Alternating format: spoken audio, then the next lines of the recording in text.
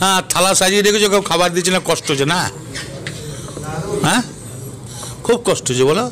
থালা দিয়ে দিয়েছে, খাবার দিচ্ছে না, আহ শোনা গো আমার।